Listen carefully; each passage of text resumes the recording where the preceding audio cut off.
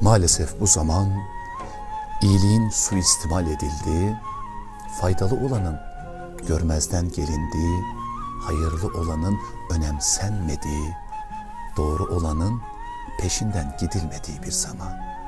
Maalesef bu zaman şeytan ve dostlarına hayranlık beslendiği, heva ve hevesimizin ruhumuzu ele geçirdiği, günahın bizi çepeçevre çevirdiği, kalplerimizin mühürlendiği bir zaman.